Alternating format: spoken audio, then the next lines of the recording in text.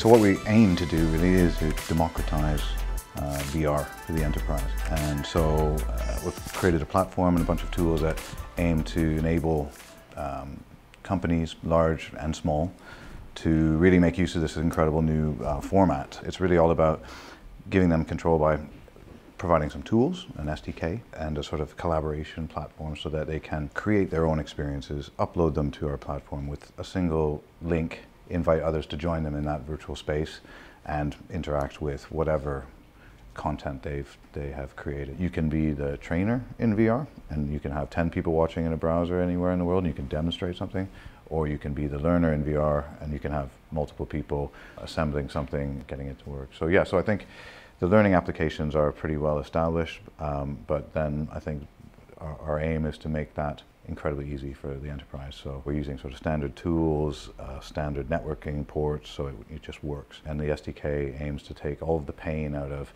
you know, finessing the interactions or figuring out how to make something work in a multiplayer environment. So we're just trying to continually lower the barrier to entry so that um, any company, large or small, can make use of, of VR as a platform.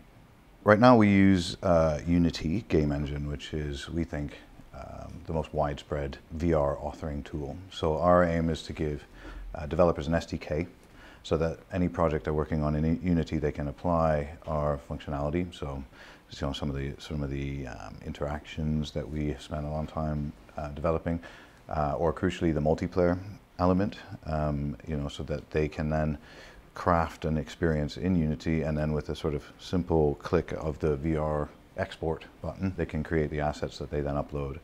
Uh, once they're uploaded, then it's as simple as making a space, giving it a name, and you get a link back. And you can send that link to anybody who has basically internet access. So you get some pretty interesting scenes where there'll be three people in VR. They can be anywhere in the world.